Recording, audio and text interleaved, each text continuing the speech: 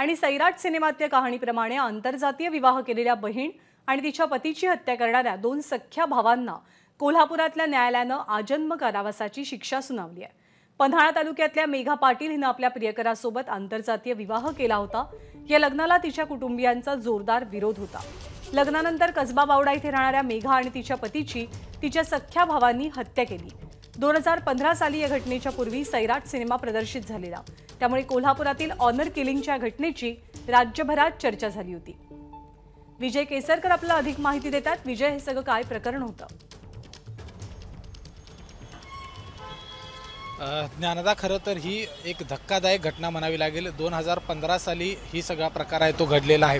म्हणजे आपण सैराट सिनेमामध्ये प्रिन्सनं ज्या पद्धतीनं आपल्या बहिणीला आणि तिच्या नवऱ्याला मारलं तशाच पद्धतीची घटना कोल्हापूरच्या कसबा बावडा या ठिकाणी घडली. दोन हजार पंधरा साली दरम्यान याच दरम्यान सैराट चित्रपट हा आला होता आणि गणेश पाटील आणि जयदीप पाटील या दोन भावांनी आपली बहीण मेघा आणि तिच्या नवऱ्याला अशाच पद्धतीनं संपवलं होतं.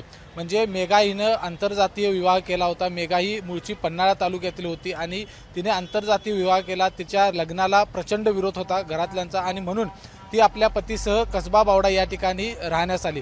मात्र तिचा माग काढत हे दोन्ही भाऊ त्या ठिकाणी आले आणि आपली बहीण आणि तिचा नवरा या दोघांनाही संपवले. त्याचबरोबर या प्रकरणामध्ये तिसरा जो आरोपी होता त्या आरोपीला देखील पुरावा नष्ट करण्याच्या कारणावरून तीन वर्षे सहा महिन्याची सक्तमजुरीची शिक्षा आहे ती झालेली आहे. म्हणजे एकूण जर बघितलं आपण तर रील लाईफमध्ये ज्या पद्धतीनं प्रिन्सनं आपल्या बहिणीला आणि तिच्या नवऱ्याला संपवलं तसं रिअल लाईफमध्ये गणेश आणि जयदीपनं आपल्या बहिणीला आणि तिच्या नवऱ्याला संपवलं आणि त्यावेळी महाराष्ट्रामध्ये प्रचंड चर्चा झाली.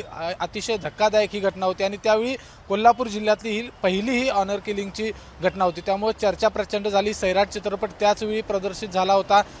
एकूण जर बघितलं तर जवळपास सात सात वर्ष हा खटला सुरू राहिला आणि सात वर्षानंतर आता या दोन्ही भावांना आजन्म कारावासाची शिक्षा सुनावली. विजय धन्यवाद सगळ्या माहितीबद्दल.